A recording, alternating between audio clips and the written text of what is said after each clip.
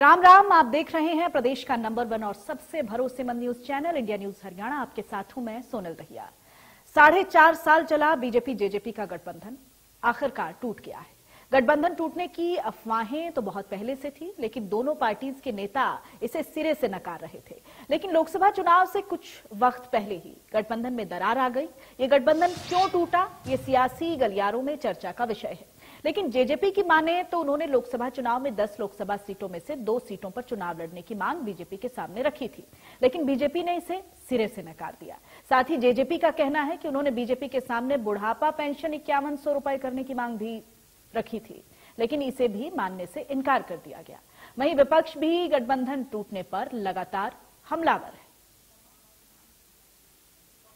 मैं आपको एक चीज़ बड़े अच्छे तरीके से कह सकता कि हमने जो आखिरी एनडीए की हमारी चर्चा की मीटिंग हुई थी, उसमें भी ये विषय रखा था कि इक्यावन सौ रुपया पेंशन कर दो। आपके दस सिटिंग एमपी हैं। हम दस के दस सीटों पर आपका साथ देने को तैयार हमारा एक इशू पूरे घोषणा पत्र का जो हम पूरा नहीं कर पाए, वो हमारी मांग थी, उसको हमने रखा। उस इशू के ऊपर विचार के लिए समय मांगा गया और सुबह मैंने तो इस्तीफा नहीं दिया। क्योंकि सीएम रिजाइन करते हैं तो पूरी कैबिनेट रिजाइन हो जाती। मुख्यमंत्री जी ने रिजाइन किया, बीजेपी की बैठक हुई, सरकार वो पहले भी अकेले बना सकते थे, अब भी बनाई है। उस समय उनको हमारा सहयोग चाहिए था, उनने लिया। आज उनको लगा कि हम अपने दम पर बना सकते हैं। उन्हें बना ली। मेरे पास जो सुविधाएँ थी विद इन आवर्स मैंने भी सारी रिटर्न कर दी। देखिए, कुछ लंबी चौड़ी बात नहीं, आप लोगों ने बता ही दिया कि दुष्यंत जी ने उनसे दो सीटों की मांग की थी। और हमारा जो कर्म क्षेत्र है, जो हिसार और भिवानी सीटें, वो डिमांड की थी। और पहले भी हम वहीं से लड़ते हैं। तो अब वहाँ अब क्या पेज फंसा है, ये तो वही जाने भाई जिन्होंने मना किया है। दुष्यंत जी ने तो लास्ट ये भी कह दिया भाई, एक भी सीट ना दो, लेकिन हमारा जो चुनावी मुद्दा था, इक्यावन सौ रुपये पेंशन, वो तो अनाउंस कर दो आप लोग, हरियाणा की जनता को फ़ायदा होगा। तो वो भी शायद कोई उसमें आनाकानी हुई है तो वो तो देखो वही जवाब दे सकते हैं उसका। अगर घटना के नाते से मैं कह सकता हूँ तो एक ही है कि जो जेजेपी के लोगों ने लोकसभा की सीटों के बारे में जो डिमांड की थी, चूँकि भारतीय जनता पार्टी की पहले से दस की दस सीटें भारतीय जनता पार्टी के चुनाव चिन्ह पर लड़कर के हमने नरेंद्र मोदी जी के झोले में दी हुई है और वही हमारा अगला मंसूबा है। इसलिए केंद्रीय जो हमारा नेतृत्व है, उनसे उन्होंने बातचीत की होगी तो उसमें से उनको हम लोगों ने अपने आप खुद दस सीटें लड़ेंगे। उसमें से उन्होंने कोई निर्णय किया होगा तो मुझे जानकारी नहीं है, ऑफिशियल कोई बात तो उनके हमारे सामने आई नहीं है। लेकिन ये जानकारी मिली कि अब उन्होंने अपना निर्णय ले लिया है कि हम अलग से लोकसभा की सीटें लड़ेंगे। उसी में से आगे के सब निर्णय हुए हैं तो ये तो एक घटनाक्रम हो सकता है। मेरे को लगता है कि जेजेपी दिखावे के रूप में इन्होंने अलग की है और फिर ये कहें कि आप सदन में 10 के 10 एमएलए बाहर रहेंगे, इसका सीधा मतलब यह है कि भारतीय जनता पार्टी और जेजेपी का जो पर्दे के पीछे का गठबंधन है, वो आज भी है। ड्रामेबाजी है। सोची समझी नीति के तहत समझौता हुआ था। सोची समझी नीति के तहत समझौता टूटा है। ये वोट काटने का काम करेंगे। परंतु इस प्रदेश की जनता देख चुकी है कि काट की हांडी बार बार नहीं चढ़ती। अब बार वो हांडी दल जाएगी। है कि उस पार्टी का जनाधार नहीं बचा। और ये हम पहले ही हमें पता था कि इनमें अघोषित समझौता समझौता तोड़ने का हो चुका था। ये इसका न सिर्फ़ पूर्व अनुमान था मगर कोई एक, एक ठोस जानकारी के आधार पर साढ़े तीन महीने पहले सिरसा में मैंने ये कह दिया था सार्वजनिक मंच से कि इनका अघोषित समझौता समझौता तोड़ने के लिए हो गया ताकि चुनाव के समय इस पार्टी को अलग दोबारा से भाजपा मैदान में उतरवाएगी कि किसी तरीके से सत्ता विरोधी जो वोट है, उस वोट के अंदर कोई सेंधमारी की जाए अलग अलग पार्टियों को उतार कर ये भाजपा की एक रणनीति रहेगी। राजनीतिक प्रतिक्रियाएँ आ रही हैं, तमाम नेता इसको लेकर अपनी अपनी बात कह रहे हैं और इसी बीच अलग अलग पार्टीज़ के प्रवक्ता हमारे साथ जुड़ गए हैं, उनसे भी हम ओपिनियन लेंगे, क्योंकि जो सियासी गलियारों में चर्चाएँ तेज हैं, उस पर सही जवाब यही लोग दे सकते हैं। नेहा धवन, बीजेपी की प्रवक्ता हैं। आपका बहुत बहुत स्वागत है, नेहा जी। वेद प्रकाश विद्रोही कांग्रेस के प्रवक्ता हैं। आपका बहुत बहुत स्वागत है वेद प्रकाश जी। एडवोकेट मनदीप बिश्नोई, जेजेपी के प्रवक्ता हैं। आपका बहुत बहुत स्वागत है, मनदीप जी। सुखबीर तंवर, आम आदमी पार्टी के प्रवक्ता हैं। सुखबीर जी, आपका बहुत बहुत स्वागत है। सबसे पहले, क्योंकि चर्चा सियासी गलियारों में हो रही है जेजेपी की तो हम एडवोकेट मनदीप बिश्नोई का ही सीधा रुख कर लेते हैं। मनदीप बिश्नोई जी, क्या गठबंधन टूट चुका है या फिर सोचा समझा एक नया गठबंधन पैदा हो चुका है? आ, सोनल पूरे प्रदेश के सामने पूरे देश के सामने मीडिया के माध्यम से जब अलग अलग दोनों दोनों की राहें हो चुकी है तो इस बारे में कहना कि गठबंधन रहे हैं या टूट चुका है ये तो नहीं एक सियासी गलियारों में चर्चाएँ ये भी तेज है कि एक नया गठबंधन अंदर खाने हो चुका है। मैंने इसलिए आपसे सवाल किया। देखिए राजनीति में दुष्यंत चौटाला जी एक सकारात्मक छवि के और सकारात्मक नेचर के और सकारात्मक विचारधारा के धनी हैं। जो बात उनके चेहरे पर, उनके मुँह से निकलती है, जो आज उन्होंने मीडिया के सामने बड़ी खुले दिल से और तेरह तारीख को हिसार में जो डॉक्टर अजय सिंह जी का जन्मदिन हमने मनाया था, बड़े धूमधाम से जेजेपी के कार्यकर्ताओं ने, उनमें सारी की सारी बातें बड़ी खुलासे से कह गई है कि राहें अलग अलग हैं और राहें संघर्ष की हमने करनी है। पहले भी संघर्ष किया है, आगे भी संघर्ष होगा। और जो विस्तार से उन्होंने बताया कि बीजेपी की तरफ़ से जो ने, केंद्रीय नेतृत्व है उनकी तरफ़ से ये बात आई थी कि 10 की 10 सांसद हमारे हैं तो हम 10 की 10 पर दोबारा से चुनाव लड़ेंगे। तो दुष्यंत जी ने ये कहा कि हम दो सीटों की हमारी ऑफ़र थी अगर वो आप मंजूर नहीं करते हैं तो इक्यावन सौ रुपए का एक जो वृद्धावस्था सम्मान पेंशन जो चौधरी देवीलाल जी का लगाया हुआ एक पौधा वो इक्यावन सौ कर दीजिए हम दस की दस पर आपकी मदद कर देंगे। हमें हरियाणा प्रदेश के उन बुज़ुर्गों अच्छा मुख्यमंत्री जी तक ये बात नहीं पहुँची थी क्या? जो पूर्व मुख्यमंत्री हैं उन्होंने तो इस बात का कहीं भी ज़िक्र नहीं किया। इक्यावन सौ रुपए पेंशन की हाँ, बात। देखिए देखिए पूर्व मुख्यमंत्री जी उस मीटिंग में नहीं थे। ओके बीजेपी का शीर्ष नेतृत्व इस बात से अगर कोई इनकार करे तो वो बता सकते हैं। मुख्यमंत्री महोदय ने तो सिर्फ़ ये बात कही है पूर्व मुख्यमंत्री महोदय ने कि जो विषय उनके सामने आया वो उन्होंने बता दी। इसके अलग हट के कोई विषय है तो उन्होंने ये भी कहा कि वो उनकी जानकारी में नहीं है। इसका मतलब कि केंद्रीय नेतृत्व के बीच में एनडीए की जो बैठक थी दुष्यंत चौटाला जी के और मध्य और राष्ट्रीय अध्यक्ष जो भारतीय जनता पार्टी के हैं उनके बीच में जो बैठक में जो बात हुई वो बात जनता के सामने की और दुष्यंत जी और जेजेपी का प्रत्येक कार्यकर्ता एक ही बात है कि हमें बुज़ुर्ग वृद्धावस्था जो सम्मान पेंशन है अगर वो इक्यावन सौ कर दी जाती तो निश्चित तौर पर 10 की 10 सीटों पर भारतीय जनता पार्टी का समर्थन हम जिस प्रकार से उपचुनाव में हमने किया था उस प्रकार से दोबारा से करते अब जननायक जनता पार्टी जनता के बीच में है कार्यकर्ताओं की बैठकें लगातार आज दो जिलों की हुई आने वाले दिनों में है। 22 के 22 जिलों की बैठकें हो जाएगी और ये तय किया जाएगा कि कितनी सीटों पर हमने चुनाव लड़ना है किस तरह से हमने चुनाव के अंदर जाना है। मैं तो एक बात और कहूँगा भी दीपेंद्र हुड्डा जी को इस पर सुन भी रहा था, संशय है हालाँकि उन्होंने कहा कि मैंने ये एक एक सेकंड सिर्फ़ एक सेकंड चुके कि सिर्फ़ वो एक 10 की 10 सेकंड लोकसभा लूँगा सीटों पर सिर्फ़ एक सेकंड एक सेकंड सोनल सोनल मात्र दो सेकंड पाँच सेकंड में अपनी बात पूरी कर दूँगा। दीपेंद्र हुड्डा जी ने ये कहा कि वोट काटने के लिए ये अलग बीजेपी की और इनकी रणनीति है कि अलग अलग विपक्षी वोटों को अलग अलग कर दिया जाए। इसका मतलब कांग्रेस के पल्ले आज वोट नहीं है। वो बहुमत की बात नहीं कर पाती। ना उनके पास वोट है ना कोई बात है क्योंकि जो उन्होंने दस साल तक भ्रष्टाचार का खेल खेला था उसको जनता अभी भूली नहीं है। ठीक है ठीक है ठीक है। सुखबीर तंवर जी मुस्कुरा रहे हैं बहुत देर से। सुखबीर जी अभी आपने सुना जेजेपी प्रवक्ता को? उनको उनका कहना है कि कांग्रेस के पास किसी तरह का जनाधार बचा नहीं है पूरी तरह से हम तैयार हैं। और इसी बीच आप भी ताल ठोक चुके हैं राजनीति में हरियाणा की राजनीति में। आप अपने आप को कहाँ देखते हैं? देखिए सोनल जी सर्वप्रथम मैं कहना चाहूँगा हरियाणा प्रदेश के वर्तमान राजनीतिक परिदृश्य में एक कहावत सत्तारूढ़ दल और जो विगत में इनके साथ थे जननायक जनता पार्टी उस पर पूर्णतः चरितार्थ और प्रासंगिक है। मर्ज बढ़ता गया जू जू दवा की। भारतीय जनता पार्टी को जमुना पार भेजने वाली जननायक जनता पार्टी को आज जवाब देना पड़ेगा। किसानों पे जब अत्याचार लाठीचार्ज और जेल भेजने का विषय चल रहा था, उसका समर्थक जननायक जनता पार्टी ने किया।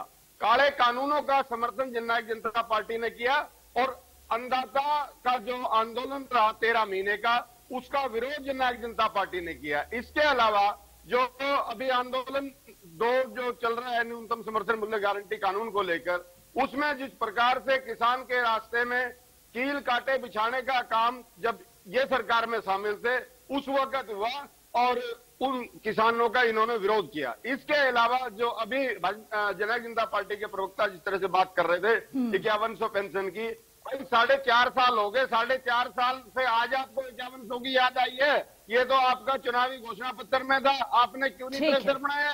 अगर आपने कोई वापस लेना था ठीक है बिल्कुल अगर साझी सरकार चल रही थी तो उम्मीद थी कि ये काम बहुत पहले हो जाना चाहिए था। नेहा जी का इनको निकाला गया ठीक है, ठीक है। आखिरी वक्त तक चिपकना चाहते थे। ये कह रहे खुद ही हम तो एक ओके, ओके। कर देते। ये ठीक कहीं सुनी बात इनका कोई औचित्य नहीं कोई मतलब नहीं है। ठीक है। ये पूर्णतः अप्रासंगिक हो चुके ठीक है। नेहा जी नेहा जी का रुख कर लेते हैं। नेहा जी आपने सुना अभी आम आदमी पार्टी के प्रवक्ता को भी और जननायक जनता पार्टी की तरफ़ से क्या बात कही वो भी आपने सुनी। हाँ, क्या ऐसा लैक ऑफ़ कम्युनिकेशन रहा कि रीजन ही क्लियर नहीं हो पाए? क्योंकि लोकसभा सीटों के सीट शेयरिंग पर बात नहीं बनी, या फिर इक्यावन सौ रुपए पेंशन की बात नहीं बनी। चार, साढ़े चार साल तक इस सरकार जो है वो बहुत ही शानदार तरीके से चली गठबंधन में। लेकिन अचानक से क्या गठबंधन तोड़ने का एक कारण ही चाहिए था, या फिर किसी तरह का कोई और फ़ायदा?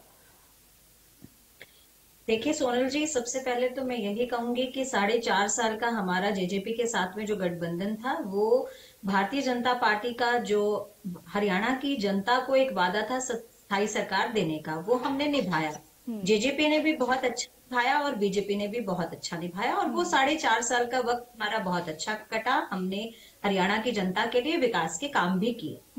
अब बात आती है पोस्ट अलायंस था। पोस्ट अलायंस अब की बार 2024 के लोकसभा और विधानसभा के चुनाव से पहले का गठबंधन रहे ये ज़रूरी नहीं था। इस पर भी चर्चा होनी थी। हमारे शीर्ष नेतृत्व ने तय किया कि नहीं होगा।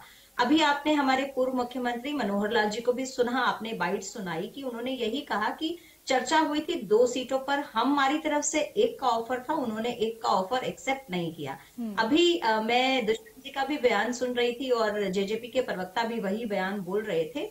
मुझे लगता है कि जेजेपी अब जो है वो कोई इस एंगल को कि गठबंधन टूटा है, इसको एक भावनात्मक और राजनीतिक रूप देने के लिए अब ये एक शगुफा जो है इन्होंने छेड़ दिया है कि हम इक्यावन सौ रुपए जो है कर रहे थे, करना, करवाना चाह रहे थे, जिस पर बीजेपी राज़ी नहीं हुई। मैं आपको ये बताना चाहूँगी सोनल, कांग्रेस के समय में बुढ़ापा पेंशन जो है वो हज़ार रुपए थी। उसको आज तीन हज़ार रुपए करना भी भारतीय जनता पार्टी और जेजेपी की सरकार ने ही किया था। और हम ही वो लोग हैं जिन्होंने इसको आगे बढ़ाया है और तीन हज़ार रुपए तक पहुँचाया है। बुढ़ापा सम्मान निधि ने इतना ज़्यादा इजाफा किया उसमें तो ये हमारी सरकार की बदौलत क्यों संभव हो पाया था? तो आज ये बात कहना जेजेपी का बिल्कुल सही ये बात लगती है कि अब वो राजनीतिक एंगल इसको देना चाह रहे हैं। जनता के सामने इस चीज़ को कैश करना चाहते हैं कि हम तो सरकार के साथ थे, लेकिन बीजेपी का जो है वो स्तर डाउन करने के लिए और जनता को भावनात्मक एंगल में मोड़ने के लिए इस स्टेटमेंट को मुझे लगता है बोला जा रहा है, जो कि सरासर गलत है। मैं उस टाइम पीरियड का सम्मान करती हूँ भारतीय जनता पार्टी की तरफ़ से ही मेरा ये बयान है कि हम सम्मान करते हैं, जो साढ़े चार साल हमने साथ बिताए, हमने बहुत अच्छा काम किया, लेकिन उसी के आधार पर मुझे लगता है बहुत ही सकारात्मक ढंग से आपको भी गुड विशेष हैं लोकसभा के चुनाव के लिए। और मुझे लगता है यही भाव आपको भी रखना चाहिए। दूसरी बात जहाँ तक अभी जी सोनल। ठीक है वेद प्रकाश विद्रोही जी का रुख कर लेते हैं। वेद प्रकाश विद्रोही जी जुड़े हुए हैं। मैं नेहा जी फिर से लौटूँगी आपके पास। वेद प्रकाश जी से रिएक्शन ले लेते हैं। वेद प्रकाश जी मेरी आवाज़ पहुँच रही है आप तक? पहुँच रही है सोनल जी। हाँ वेद प्रकाश जी देखिए कांग्रेस पार्टी की तरफ़ से अलग ही प्रतिक्रियाएँ आ रही हैं। अभी हमने दीपेंद्र जी को सुना उनका साफ़ तौर पर यही कहना है कि ये तो अंदर खाने जो है अ, एक समझौता हुआ है ना कि गठबंधन टूटा है।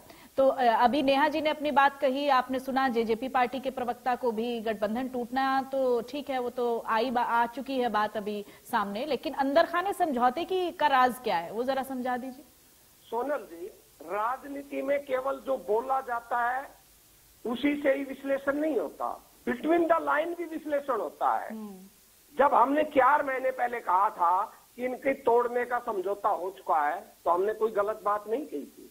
जेजेपी के साथी कह रहे थे कि भाई हमारी तो बड़ी बात के धनी है। इन्होंने तो जमुना पार करने के नाम पर वोट मांगी थी।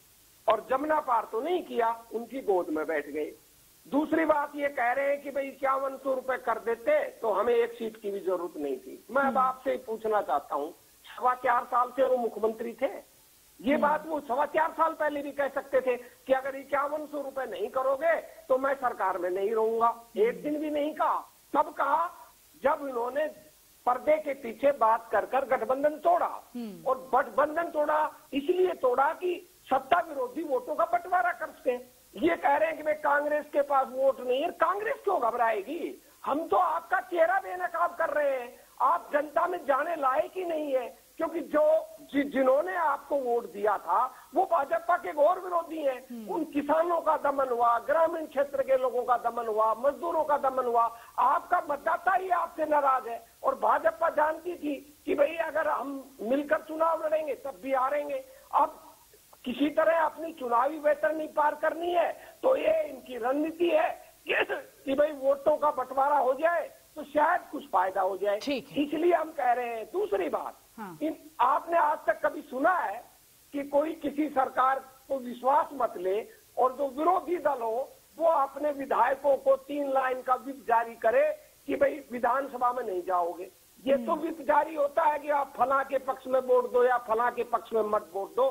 कह रहे विधानसभा में ही नहीं जाओगे। क्या ये मिली भगत का प्रमाण नहीं है? एक बात उन्होंने और कही कि भाई भाजपा चाहती तो सरकार पहले भी बना लेती। अरे कैसे बना लेती? भाजपा के चालीस एमएलए थे।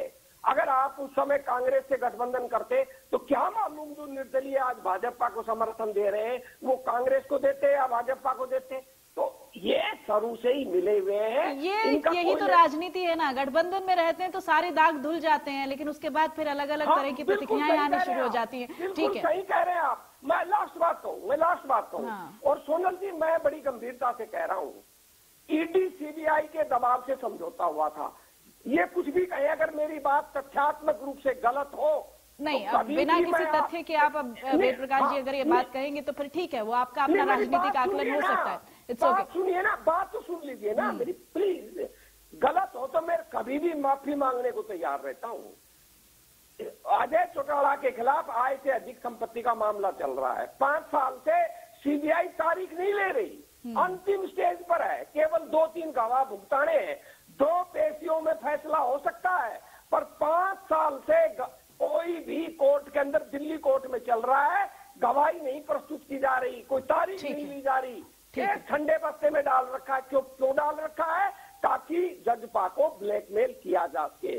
जजपा भाजपा के कहने पर ईडी सीबीआई के कहने पर ठीक है ठीक है ठीक है ठीक है। बहुत सारे बहुत सारे सवाल आज जननायक जनता पार्टी पर ही खड़े हो रहे हैं और मनदीप बिश्नोई जी मुस्कुरा रहे हैं जवाब देने के लिए।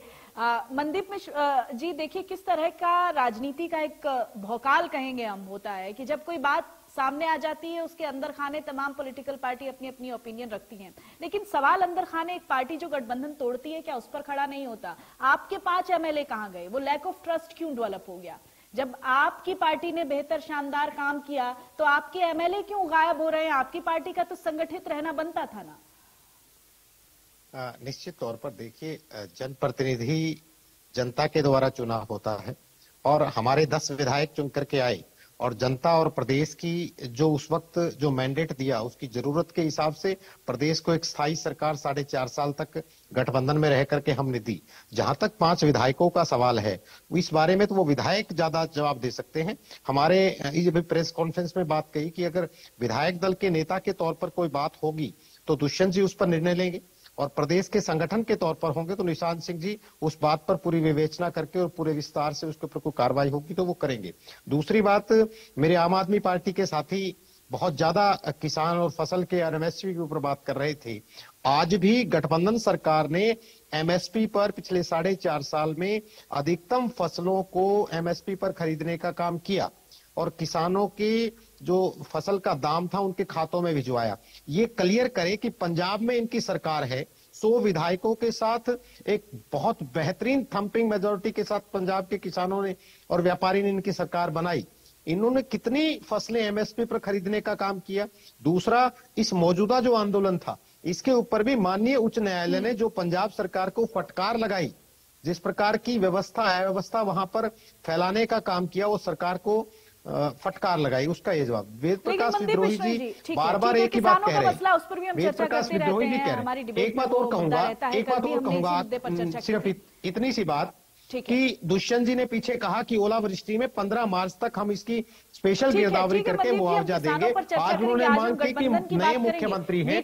कल वो लग जाएगा आचार संहिता तो किसानों को जो फ़सलों के नुकसान का मुआवजा है वो कल तीन बजे से पहले जारी कर दें ऐसी डिमांड दुष्यंत जी ने की है किसान हितेशी होने का प्रमाण सामने नहीं आया। गठबंधन टूटने के बाद दो नेताओं का इस तरह से मिलना और वेद प्रकाश विद्रोही जी जिस तरह का ज़िक्र कर रहे हैं कि ये कोई समझौता है अंदर खाने कोई और बात चल रही है क्या उस मीटिंग के बारे में कि, किस तरह की सुबुगाहट है? क्या चर्चाएँ हैं? एक नेता जब हाँ, गठबंधन टूटने अभी- के बाद दो नेता मिलते हैं तो फिर क्या है वो मुलाकात के मायने? सोनल। सो, सोनल सोनल बिल्कुल उस बात पर मैं बताऊँगा। कि दुष्यंत जी ने प्रेस कॉन्फ्रेंस के माध्यम से भी कहा कि और मैंने पहले भी बताया कि दुष्यंत जी बड़े सकारात्मक विचारधारा बड़ी पॉजिटिविटी वाले एक युवा नेता है। प्रदेश का युवा उन पर इसीलिए विश्वास करता है। वो ना तो कभी आपाक होते ना कभी आवेश में आते हैं। उन्होंने साढ़े चार साल तक सरकार बनाई सरकार चलाई। आज ना सरकार में मनोहर लाल जी हैं ना सरकार में दुष्यंत जी हैं। तो सरकार जाने के बाद दुष्यंत जी और उनकी एक मुलाकात शिष्टाचार के नाते थी। उसके बाद मनोहर लाल जी ने भी अपने जो कर्मचारी थे उनके साथ उन्होंने चाय नाश्ता किया। दुष्यंत जी उप मुख्यमंत्री थे उन्होंने अपने सरकारी स्टाफ के साथ जलपान किया और उनको बहुत अच्छी शुभकामनाएँ दी कि जिसके साथ भी वो जाएँ अच्छे से रहें अच्छे काम करें प्रदेश की जनता के हित में काम करें।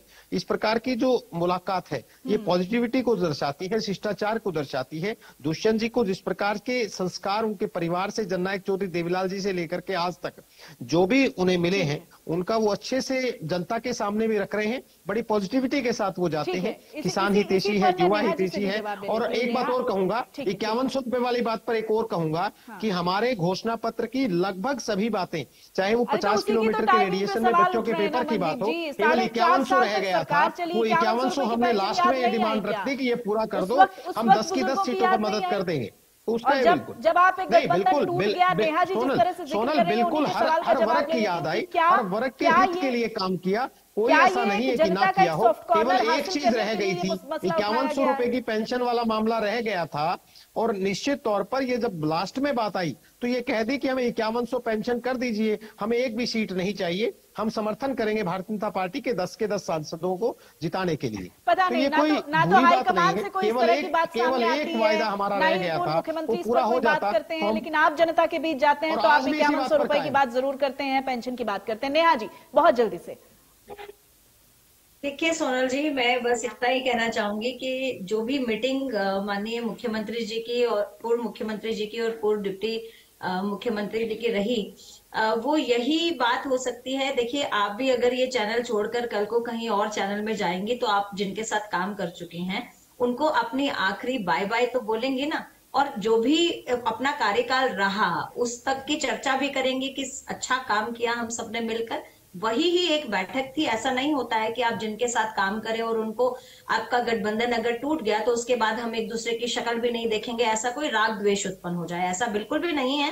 है। और जहाँ तक बात है अभी। कांग्रेस की या आम आदमी पार्टी की तो वो तो मीन मेख निकालने का काम करते हैं। विपक्ष है उनका काम है। वो हर किसी बात में मीन निकालते हैं। हमने टाइम अपने टाइम थोड़ा अपने थोड़ा सा कम है हमारे पास। नेहा जी एक बहुत छोटा सा कमेंट सुखबीर जी बहुत छोटा सा क्योंकि बिल्कुल मेरा ओवर टाइम जा रहा है। देखिए सोनल जी जिस प्रकार से मुख्यमंत्री परिवर्तन हुआ अनिल विज जी की नाराज़गी है विजेंद्र सिंह का पाड़ा बदल है और रमेश कौशिक का असली विजेंद्र सिंह के पाले में बात करेंगे तो वहाँ भी अंदर खाने से खबर तो कुछ और ही है कि पाला बदला नहीं पाला बदलवाया गया। ठीक है ठीक है चलिए इस पर भी हम चर्चा करेंगे। बहुत बहुत शुक्रिया आपका नेहा धवन जी वेद प्रकाश विद्रोही जी एडवोकेट मनदीप बिश्नोई जी सुखबीर तमर जी। तो तमाम पार्टीज़ के प्रवक्ता हमारे साथ जुड़े थे। गठबंधन टूटने की असली वजह क्या रही और इस गठबंधन टूटने के आगे के राजनीतिक मायने क्या होंगे ये वक्त बताएगा। लेकिन फ़िलहाल तमाम पार्टी अपनी तरफ़ से इसको साधने की पुरजोर कोशिश कर रही है। वक्त एक छोटे से ब्रेक का फ़ौरन होंगे हाजिर।